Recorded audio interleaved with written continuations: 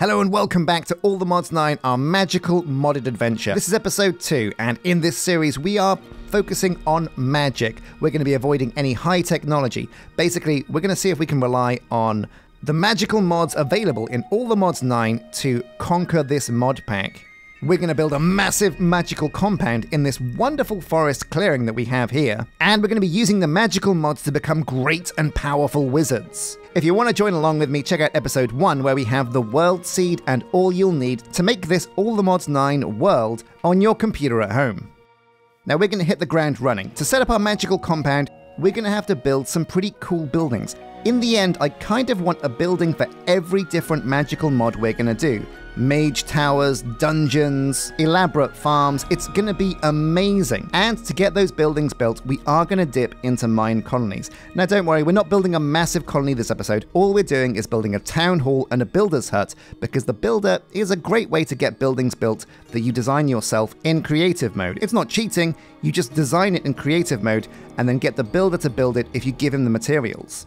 There are other ways to get builders to build stuff, but this is a low tech way that kind of preserves our magical theme. So we're going to need the town hall block and the build tool, and it should be around here somewhere. Maybe it's upstairs. Aha, yes, here we are, the town hall and the build tool. Perfect. There's also some other bits and bobs up here. So let's find a spot to set up the town hall and the builder's hut. Now the style we're to go for, because we're not going deep into MineColonies, we only want a good looking town hall and a good looking builder's hut. One that's going to stick with our magical theme, which is mostly going to be white, diorite, and andesite, and I think Caledonia is a great choice for that.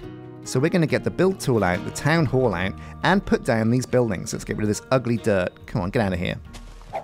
Now, why am I picking Caledonia for the town hall? Well, let me load this up and upgrade it to level 5 to show you why. When this thing is level 5, it looks kind of like a pretty magical mage tower. It looks beautiful and amazing.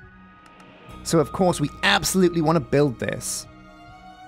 The camp isn't going to be here forever, we might actually get rid of it once we have everything else set up. But this is a great building to get started with, so let's make sure it's not interfering too much with the landscape. That looks okay, but we'll bring it forwards a bit because we don't want our builder to have too much of a hard time building this thing. But of course, he's only going to build it at level 1 to start with, so this looks great. Boom, so now we have the town hall down. It's time to start getting a few colonists that are going to help do the jobs around our compound and create new colony. Now, before we get going, we've got to set the name pack to French. Now, why French, I hear you say, and that's because basically I've removed all of the French names and put your colonist name submissions in. So basically, there's a big list of all of you guys who have joined as Patreon members or as YouTube members.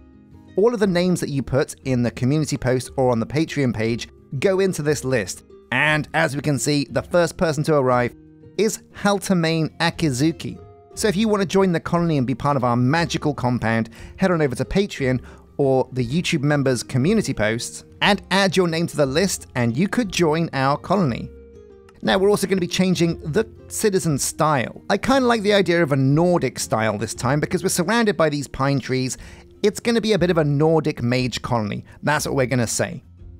We also need a name for this colony because the name Sjin's Colony, it kind of sucks. So this is placeholder until you guys can come up with an amazing name in the comments section. So, this episode, what I would love for you guys to do is head down to the comments section and post your own submission for what you think our Grand Mage compound should be called. Or if you like the look of somebody else's post, upvote that. And the comment with the most likes is what we're going to name our magical compound. Ah, hello, Usagi Reeves. Welcome to the crew. And this is the Nordic skin pack, and it looks pretty cool. So the town hall is here, but it won't get built until we have a builder's hut, so we're going to put down one of those as well. That's something we'll need to craft. Now, all of the huts you need to make to build a MineColonies building usually consist of wood around the edge, something in the middle, and then the build tool on the top. And a door will get you a builder's hut. That's exactly what we want. Pretty fantastic. It's very small compared to this massive town hall, but oh my god, this looks so impressive. Can't wait to get this thing built. Who are the colonists that have arrived so far? We've got, oh, Klaus Sake. Whoa, love that face paint, bro. So let's see which one of our first dudes is going to be the best builder. Oh my god, wow, so the latest version of MineColonies has had a massive update. Look at all this UI. This looks fantastic. It might be worth dipping into a bit of uh, MineColonies to see what's changed. But we're going to remove Hultermain because he's not quite the best for the job. Well, we got Cheesy Nerd, who's got low stats, Klaus Sake 2 and 3, that's looking pretty good, but Usagi Reeves with 3 as the primary and 2 as the secondary, I think that looks like our best bet. And this is what the Nordic builder looks like. Oh man, looking fantastic. Oh wow, cheesy nerd. Love that braid, looking like a true Valkyrie. Minus the armor, I suppose. So, Usagi Reeves. Oh wow, so in this version of MineColonies now, you can actually give all of your colonists their own set of armor, or even maybe some cosmetic upgrades. So, Usagi Reeves, let's put that to the test. I'm going to give you my fantastic straw hat. Hi. Oh no, it's a cosmetic, so it doesn't work. Well, maybe you can take my chainmail hat. No. Okay, so it looks like Usagi can't wear chainmail. I guess chainmail is a bit too high level for them. They can probably only use leather at level 1. Anyway, show me your inventory and let's give you the tools you're going to need to get going. So it's going to be a wooden axe, a wooden pickaxe, and a wooden shovel. So wise. There we go, Usagi, all the tools of the trade. And now she's got the tools she's going to need to start clearing the area. But what she doesn't have are the building blocks she's going to need. So it needs oak, spruce, birch, spruce, spruce, lots of spruce, lots of cobblestone, and some stripped logs. So we'll build that building and let's head on over and get some birch into one of these hopper pots because we're going to need loads and loads of birch, loads and loads of spruce. Now, if I remember rightly, there was a barrel up here that had, yeah, the saplings we're looking for. So spruce is what we need and a little bit of birch. And for now, we can probably replace some of these magical trees, because in our chest, we have a whole bunch of these logs to get going with. So we'll just pull these out and put the woods in that we need. These saplings aren't going anywhere, and we can put them back in when we need them, but for now, they're going to be safe and sound in here.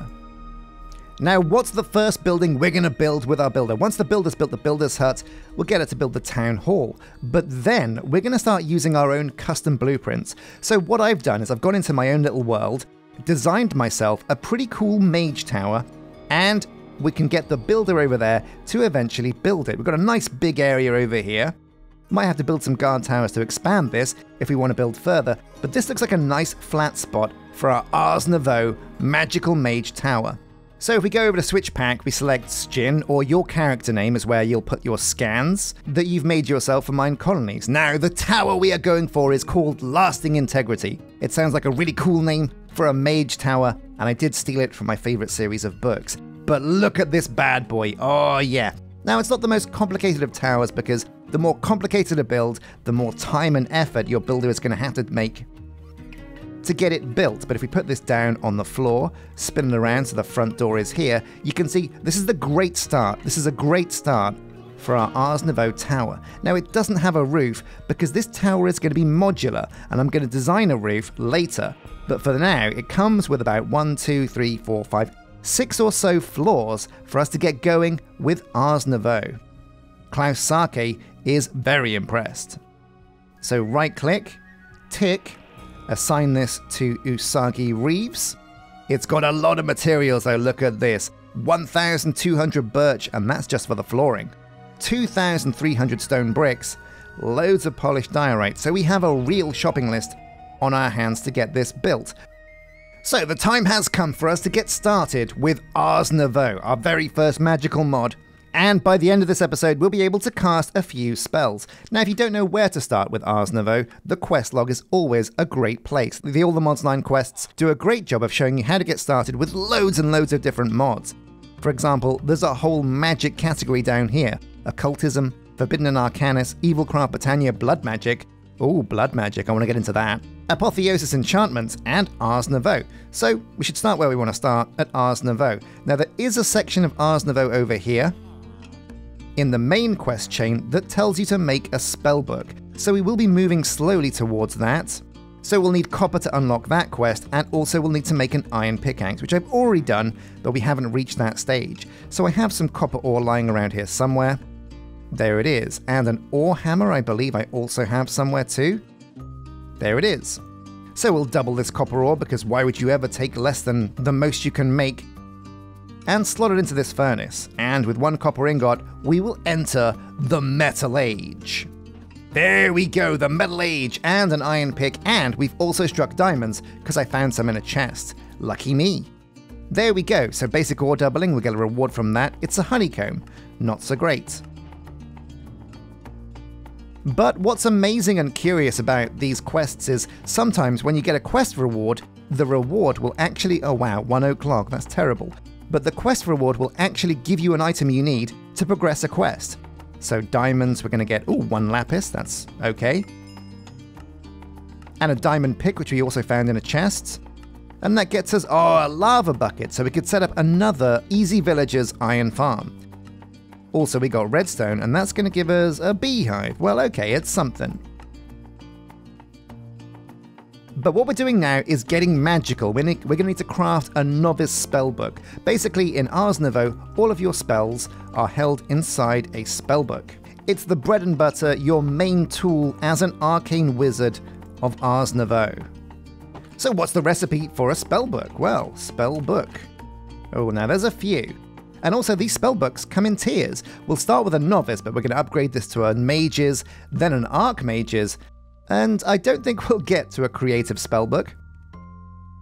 Because the recipe for that is pretty frickin' wild. But a novice spellbook is very achievable now that we have an iron farm, lots of iron tools, and a book. So into the crafting table on a stick, we're going to make the iron tools first. We'll need a pickaxe, yes. We'll need a sword, also very important shovel, and an axe. And for the ease, we're just going to press the plus button and boom, the Novice Spellbook. There we go, quest complete. And doing this quest actually gives you a free glyph. So let's see what random glyph we get. We could be really lucky here, we could be not so lucky.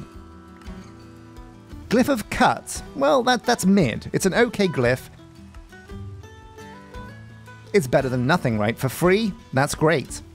Oh man, rain. Can I sleep through the rain? Is it a thunderstorm? Oh, yes, it is, luckily.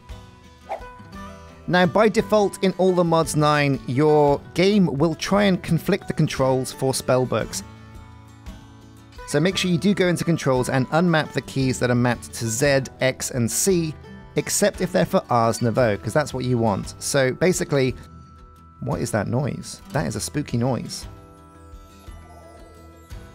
That's a really spooky noise. Well, it's a problem for later. Right now I'm not getting attacked, so I'm not too worried. Ugh, but I will hide behind this piece of piece of stone. So with the spellbook in hand, you can press the C key and this will open up the spell interface. Spells come with forms, effects, and also augments that can make the spell act differently. Now the basic spells I like to go with first are Touch Dig. Touch means that you can basically, it's a close range spell, and break, which basically breaks a block. And we're going to call this touch dig. Now, this is assigned to spell slot 10, but we should probably assign this to spell slot 1 because it's the most important spell, I think. So there we go, and we'll put it in here as touch dig as well. Boom. Now, number two, we're going to have to create a damage spell. So we're going to go with projectile and harm. And it's not really a fireball, but it is a harm ball. So we're going to call it harm ball. Create.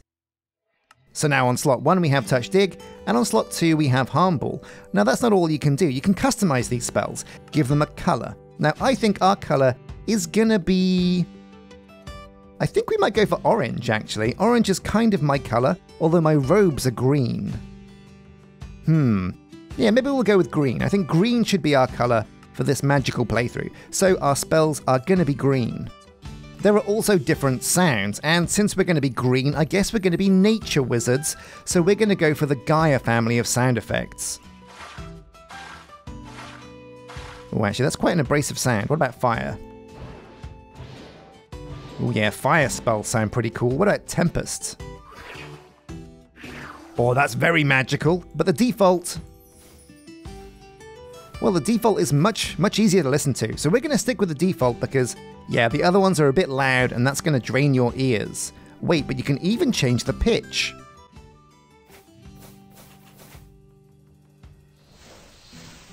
Okay, yeah, or the volume as well. Now the base volume is fine and the base pitch is fine, so we'll keep it at that. And there's also documentation here in the spellbook as well. It tells you all about everything you need to know. So now we have the spellbook, but we want to get more spells. We need to do more than just dig and harm stuff. We need to do things like conjure mage light. So what we're going to need to do that is the scribes table. And the scribes table isn't too tricky to make, but you can see now this is why it was important that we picked up all those magical woods. We're going to need a couple of gold ingots and some archwood slabs and logs. Now, anyone, any type of archwood should work, but we will go with blazing because that's what it said. Turn this into planks and then turn those into slabs.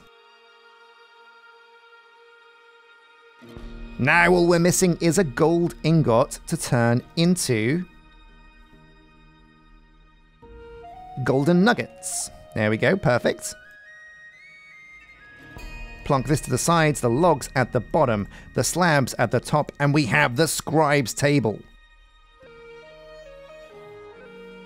Now, we don't have our magical mage tower built, so for now, we're going to set up shop in our camp and put the scribe's table somewhere inside. I reckon here looks like a fine spot.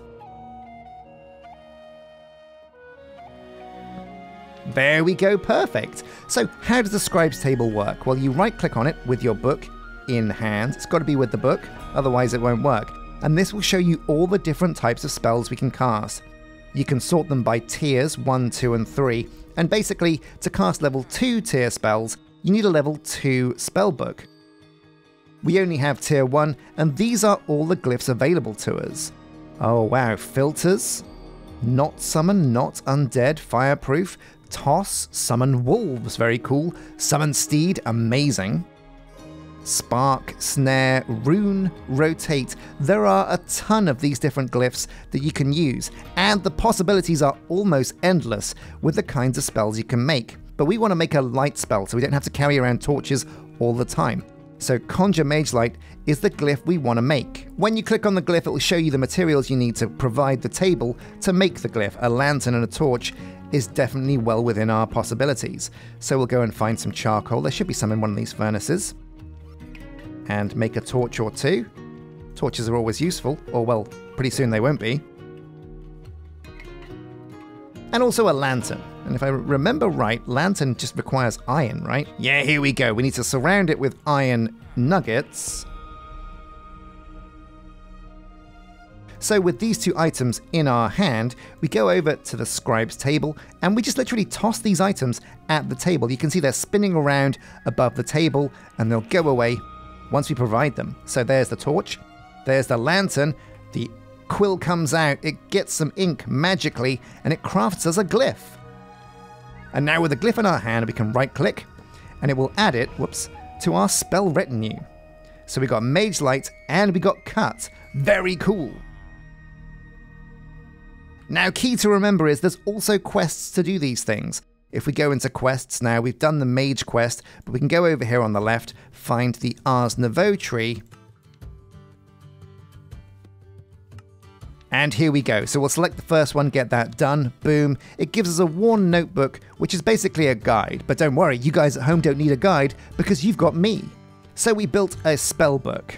And that reward, we're going to get a mana generation potion and some XP. Great stuff. We also got some archwood logs, and that's going to give us, oh, a sapling, but we've already got the saplings, so again, nothing we need to worry about. We also built the scribe's table, and this is going to give us another random tier 1 glyph. And this one is, ooh, the glyph of harvest. That could come in useful. And also, there are quests to get every single glyph in the game. So we'll start to unlock these. Boom, gimme that, gimme that, and gimme that and we can select these other glyphs from tier 1 that we've already gathered. Now the rewards from these aren't super amazing, it's just XP, but it's a lot of XP, 100. So to progress through Ars Nouveau, we can basically just plow through this little quest chain. And now that we have our spellbook and our scribes table with a few glyphs unlocked, we can start looking at some of the machines involved in Ars Nouveau, and that starts with an imbuement chamber. To create one of the main crafting items in Ars, the Source Gem, which is used for a lot of things, we'll need to make an imbuement chamber. So, an imbuement chamber, here we go. Now this is where things get a little bit expensive. So, with everything in Ars Nouveau, if you literally go here and type Ars, you'll notice a lot of these recipes or icons over here look kind of golden. And that's for good reason. Basically, all of these things you'll craft do have gold somewhere in the recipe. That's the real resource of Ars Nouveau. And it's kind of cool because gold isn't really used in many tech mods. Not really that much, maybe for circuits and circuit boards, but in general, gold is a generally underused resource. So we need to go on the hunt for gold now. It's getting to night, so we'll have a sleep. But we have a mage book, so we can cast. Wait a minute, let's add another spell. To slot number three, we're going to add projectile, light, and this is mage light. And now we can create lights as long as we have mana just by right clicking with the spellbook. There it is. Now that's pink, and we're green wizards, so I kind of want to change that. Color picker and green. Here we go. And what this should do now is give us green mage lights. Yeah, that's what I'm talking about. That's our color. Now, if you're playing multiplayer with your friends, you can basically teach any of your friends the glyphs you know by using an annotated codex. If you craft one of these, use it, it will store all of the glyphs you know in this book. Then you give that to another player, and they can use it to get all of your glyphs. It's a great way to make sure your friends are keeping up with you in the mod. So, boom, the hunt for gold. We've got a way to defend ourselves with Harm Ball. We're going to get some more armor. We're going to get some more iron out of here because we are going to need a set of armor. It's not very magey, but a set of iron armor will keep us safe for the moment. Now we're looking good. Well, no, we're not looking good actually, and cosmetically, we can probably just hide this armor set because it looks kind of ugly. And also the straw hat looks a bit ugly too. Can I hide that? Yeah, there we go. Now I'm looking pretty cool. Alright, so we've got a hole down here. I reckon there's going to be gold in that hole that we found earlier. We've got a spellbook. Wait a minute. If we're going to be green wizards, I can't go rocking around with a purple spellbook. Bam, one green dye. Now combine this with our spellbook, and suddenly our spellbook is green. That's more our colour. Okay, let's head down the hole and get some gold. So we can use the keys now to switch between Mage Light, but also what's cool is you can have, actually, what I'm going to do is I'm going to make another spell on spell slot 4, which is going to be Self Conjure Mage Light. And what this is going to do, we're going to call it Self Glow.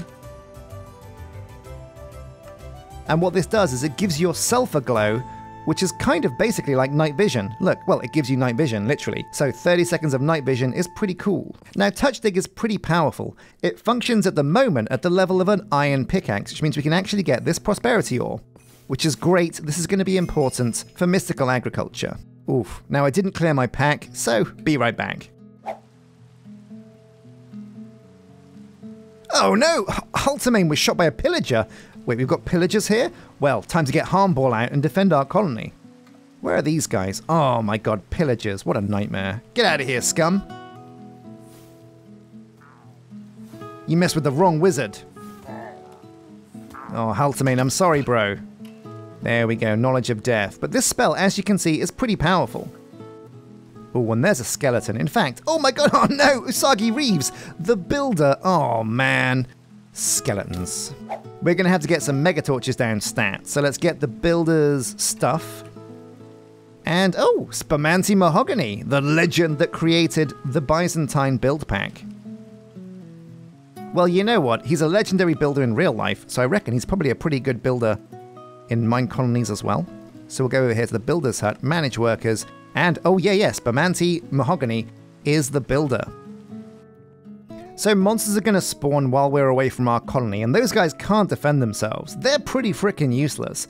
So we've got to keep an eye on the clock at the top right to make sure we are sleeping through the night. Even though we're down in the mine, we cannot have our colonists getting destroyed. Oh, cool, a monster with a jukebox. We're just going to dodge you, my friend. So let's get out Mage Light and start lighting this place up again. Now this is going to be our cave where we're going to come to do a lot of mining. So I want to light up as much of this as possible to make sure we don't get any more of these spiders approaching. While Harmball is a great damage spell, sometimes this pretty cool sword that we've got is going to do the job a little bit better. Oh, Creeper, but we want range for the Creeper, so definitely a bit of Harmball for him. Yeah, rip. Ooh, now if you accidentally hit a monster, you can make the monsters glow, which uh, doesn't really do much, but I imagine it upsets them. And I like upsetting monsters, so there we go. Who are you? What are you? Oh, it's one of those weird things. Oh, and he's found the diamond. Cool. Rippin' pepperoni, bro. Are you, are you caught in some cobweb? Oh, sucks to be you. Oh my god, a zombie brute. This thing's huge. Luckily, again, he's caught in the cobweb. So you'll see, as I'm casting these spells, in the bottom left, my mana is going down. Mana regenerates quite quickly, but you don't have a massive amount when you start. Certain things you do in Ars Nouveau are going to increase your magical level, which means you can get more mana and quicker mana regen. But for now, ooh, we're kind of stuck with base level mana. It mostly comes in the form of like magical robes, will give you more mana regeneration. There's also trinkets like rings, necklaces, and amulets that will increase your mana generation as well. Now, we are going to see our colonists die. It's going to happen a lot. We're going to go through a lot of these bad boys right in the beginning, just because monsters are a real issue early on. We'll have to get some mega torches down. So, already I see some gold. That's great news. We'll get Touch Dig out and put it to use. Now, the one thing that kind of sucks is you cannot use Ultimine with Touch Dig. So in some ways it's inferior, but it's also free. There's no durability on these spells, so you can use them as long as you have mana, and mana just regenerates, and that's great. So gold is the primary resource we're going for. Not everything can be dug with Touch Dig though. You will need to use the Amplify Oh, Ripperoni, cheesy nerd. Oh man, our guys are getting wrecked up there. Oh, looks like the skeleton upset the spider. Big mistake, bro. That spider's gonna destroy you.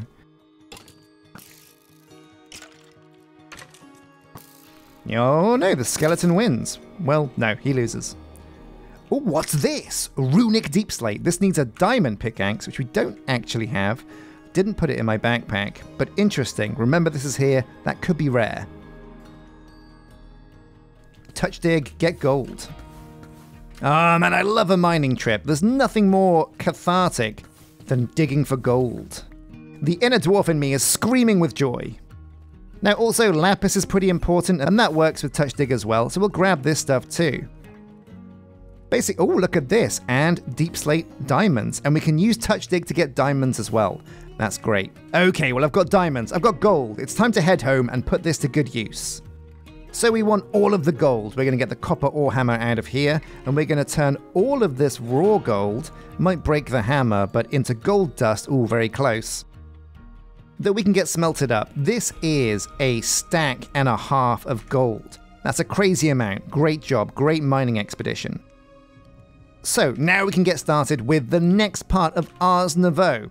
We're going to be making imbuement chambers. We're going to need a few of these. In fact, you kind of end up needing a load of these, like 6, 7, 8, 9, 10, something like that, because you want to use these to make source gems, and you need a lot of source gems. So we'll need some arcane wood. We're going to use some of these flourishing archwood logs, I reckon, turn them into planks. And then I believe the recipe was planks along the side with the ingots on the top and the bottom and boom. And let's start with four of these. Now again for now, because the Mage Tower hasn't been built yet, we're going to plonk these over in the corner of the camp. So one, two, three, four. Here we go, the imbuement chamber. So how does this work? Well, this will turn lapis lazuli into source gems. Luckily, we just got some lapis from our mining trip, so I can just right click on these, and in there you can see the lapis is slowly being turned into a source gem. The crafting progress is very slow, very slow indeed. You can speed this up by giving it mana, and it's very mid-game. For now though, we just want the source gems. That's the big next step. So great news, these lapis now have been turned into source gems. This is pretty important, and it's unlocked a quest. Let's complete that quest, get some sweet, sweet rewards. So we built the imbuement chamber, that gives us some archwood planks. Pretty lame. But the source gems, that's going to give us, ooh, a random essence. We got water essence, great. And it's going to give us some more source gems to work with. That's really good news. So once you have the source gems, you can start working on your mana apparatus. This is what you use to actually gather mana from the world via various means. Mana in Ars Nouveau is also a power source, so think like Redstone Flux or FE, which I don't know what that stands for. But um, yeah, and you can basically use different tools to make source. Oh, it's, it's source, not mana. Okay, so source is the name of the power. So agronomic makes source from the growth of plants. That's very good. Mycelial uses nearby food to make source. Alchemical, source link, uses potions to generate source. Vitalic generates source from mob deaths, so if we have a mob grinder, that's great. And Volcanic doesn't have a tooltip, but what this does is it basically uses things that burn. These are all really cool tools, and they're a great way of automating mana generation. But we can't really dip into mana generation until we have a place to set up our mage stuff, and that's why we're going to need to wait for the mage tower to get built. Now we're going to need a lot of stone bricks, a lot of smelting is going to need to be done. So what I'm going to do is I'm going to upgrade these furnaces from stone. Let's just get the gold out, delicious stuff. But we're going to set up like a pretty simple ad hoc automated smelting system. This is going to be pretty cool and pretty excited to get this done. I have some spare pipes somewhere from the pipes mod. So let's gather the things we're going to need to do this. I'm going to need some more botany hopper pots, I'm going to need some more pipes, I'm going to need some furnaces, and a couple of chests. And we'll do this just outside here for now. So basically what we want is, first up, a bunch of smelters to actually smelt the stuff. These are going to be our smelters for smelting the items that we want. We also want a smelter to create the fuel. So we put a furnace here. This is going to need a botany hopper pot that feeds wood and things that burn into the furnace. So we'll put that there. An item pipe is going to come over here and suck the stuff into the furnace. Then this item pipe is going to bring this over as the fuel. Now with the wrench we can kind of make sure that these don't interact with the things we don't want them to. Like there we go, nice. This is going to pull. And we don't need to push because things push automatically. But again, this is going to pull from the botany hopper pots. In goes the acacia. We need some dirt, so you, my friend, will do. Boom, and now we're making acacia logs.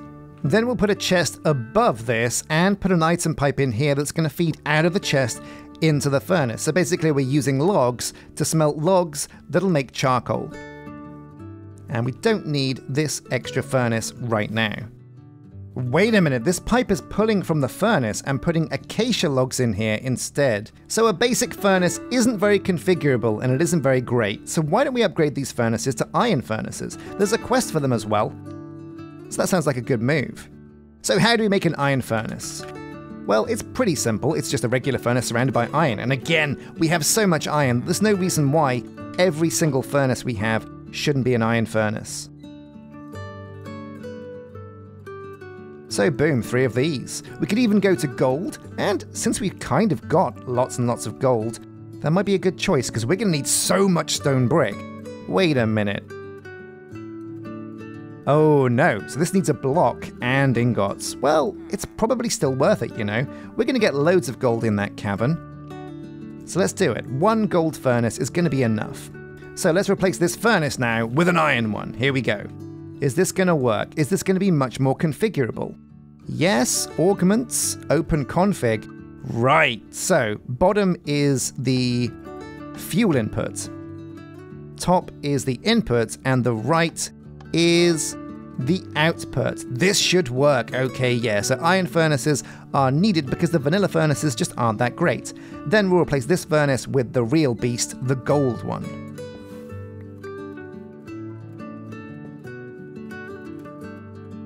Get the wrench out, start to configure this. So you're to suck from here, my friend. And let's see if this works. Charcoal is being sucked out and put into the golden furnace. Amazing! This is exactly what we want. So we want a pipe over here to suck out of the furnace the finished product. And we're going to want a way to put the items we're going to put into here into the top So we're just going to use another one of these. Make it so it doesn't connect to that one. Perfect. And a chest on top of here. So let's get some cobblestone now and test this system. So we literally just come over here, whatever we want to smelt, we put in the top. Set the pipe to suck. And there we go. It's, oh my god, this is a good smelt speed. This is why we need charcoal, because we would not get enough from the logs. So a final chest over here to store all of our misbegotten gains.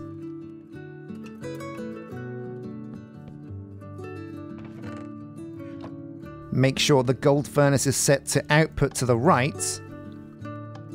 The pipe wrench to suck.